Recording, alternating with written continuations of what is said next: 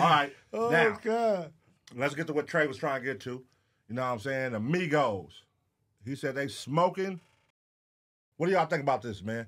I hope they not Offset smoking crack. says Migos is no, no, no, not really smoking. Not crack. really, bro. Offset says Migos is the second greatest hip hop group of all time after Outkast. Hey, What's your thoughts on that? What?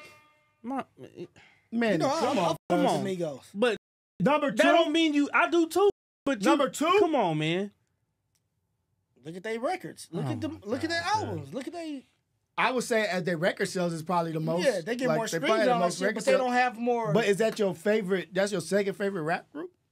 I listen to the Migos before I listen to a lot of shit. You got Dog Pound. You got East Dog Side Pound only had one album. yeah, You got talk your East shit, Side Rio. is- You got East Side. Eastsiders might be number one over. You got uh, West Side Outkast. Connection. I like them. Nigga, West you Side Connection. nigga, he's at all time, so this is gonna put it in perspective. Wu Tang Clan, Thank you. Run DMC, A Tribe Called Quest, NWA, Bone Thugs and Harmony, Beastie Boys, Public Enemy, Cypress Hill, De La Soul, Geto Boys, Three Six Mafia, The Roots, Fugees, I Mob would put Deep, the Fugees. I would put the Fugees above them, nigga. The LOX, What about Jim Jones and Cam'ron? What- Nigga, Dip- Dip- G Unit. Goody G-Unit. Mob, Dipset, Two nigga. Live Crew, E EPMD, damn, MC8, and- eh, UGK, Eight Ball and MJG, Yeah, yeah nigga. MOP, Nigga, so many. Give me the. I'm Clipse. to You didn't even say Geto Boys. Big Tymers, Hot Boys, Oh my god. Ying Yang Twins. So you me think the Migos is hotter than the Hot Boys? Did you Boys, even say the niggas from the fast rapping niggas? Come on. Who, Bone Thugs? Bone Thugs? Yeah, I said That's Bone the Thugs.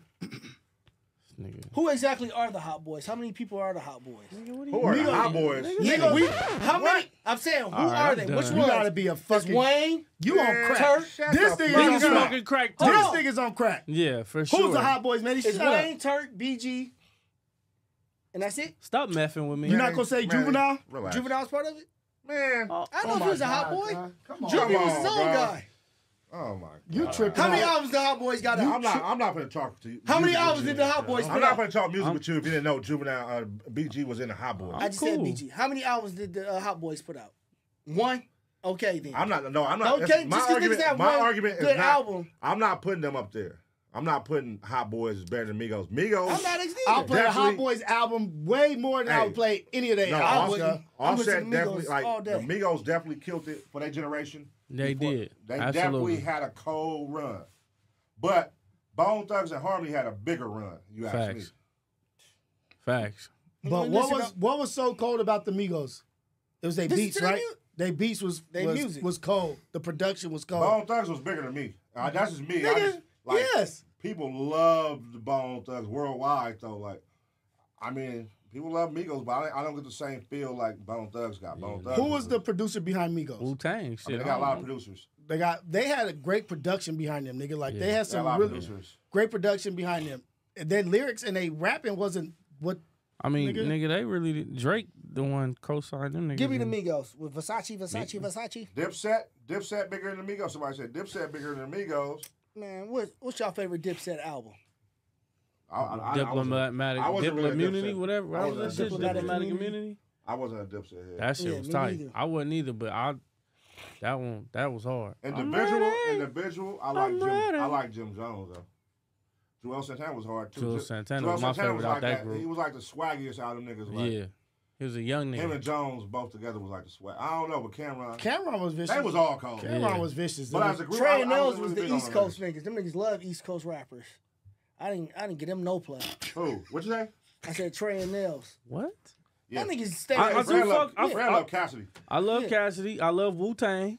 I fucked with diplomats, but nigga, I'm not. I wouldn't pick none of them over the East Siders. I'm Yeah, gonna go on record I saying saying this, that. bro. Wu Tang is one of the worst groups ever in the history of rap, bro. I don't believe so. I mess with you. I'm I, am like, I, I was about to say, I'm nigga, like, that's What's your different favorite Wu-Tang song? Cub, my but- favorite, one of my favorite right. rappers is ODB. I said, what's your favorite Wu Tang song? yeah, this nigga ain't I got like- this nigga like full the, of uh, shit. This nigga full of shit. I What's like your favorite uh, Wu Tang song? Now listen. Hold on, hold on, bud. Creed get the money. What's the Nigga, name of that? No, no, no. What's the title? That's That's, not, not- even there. I like the bees one. The bees one. Yeah. You talking about uh, bees from uh, no. the bees, nigga? Who's that? No. Iron bees. That's What's all? that? The Killer Bees. nigga? Killer Bees. The Wu Tang song. Oh, that's the name of it. Yeah. Bees. Who all on it? Nigga Uh, said it, was the bees it was, it song. was like eight of them on there. Oh, okay. This nigga don't know. This nigga don't listen to Wu Nigga, Tang. Oh, Put in my Killer Bees. God, bro. Put in Killer Bees right Nah, now. because we don't want no strike. Uh, not put it, not play it, nigga. So but that's one of the one of their biggest songs. Hey, you like Wu Tang? What was your favorite Wu Tang song? You talking to me? Yeah, Triumph. that, that that was the only song I really liked from them niggas too. You didn't like ODB? No, I'm saying as a group. It was a lot of them niggas. What was it, like eight of them niggas? Maybe more, More than than that. that. It was like nine or Nigga, ten. fucking But that album was Ra- hard. Raekwon, That- that was nigga, a- Ghostface Killah. Like, What's that? A What's your double, favorite Ghostface song? What's that? a Double disc? I don't have album? a favorite Ghostface Tri- song. That Triumph was on. Yeah, Triumph was a double disc. That was an Obama League. Yeah. Hold on. Yep. Yeah, I like that song. Do you know any Ghostface songs? Mm-mm. I like I like uh I like Ghostface though. Yeah. What's your favorite Ghostface song? Raekwon was I like Tony Dollar. that shit bang. But that wasn't just him though. Yes, that was. It was just him. Yeah, that was Yeah. his shit. That was Just just, him. Yeah.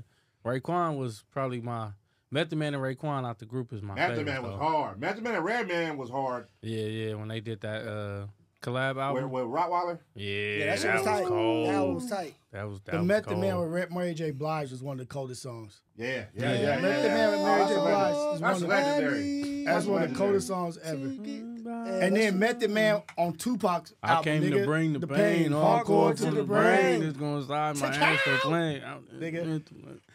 I Hey. came to bring the pain. Hey, that shit was cold. And verbal intercourse. Hey, Nigga, yo. Raekwon and Hey, Nas. yo, freaky. Raekwon and Nas, Is that a nigga. Diddy song? Freaky Oh, I think that's a Diddy song. Freaky Trey. Raekwon and. Nas, man. Jeez Louise. Verbal intercourse. Um, yeah, no, no. Y'all no. remember Killer Bees? Who was that? Killah Priest? Cuz, keep trying to Killer bring up Bees. that. It was with RZA, GZA. Oh, that was uh, a, that was a West Coast rap group. no. Remember they signed a group from uh, Compton? Oh, I do remember the, That was the called nigga Killer that jumped, Bees. the nigga that jumped out the window. One of them did, yeah.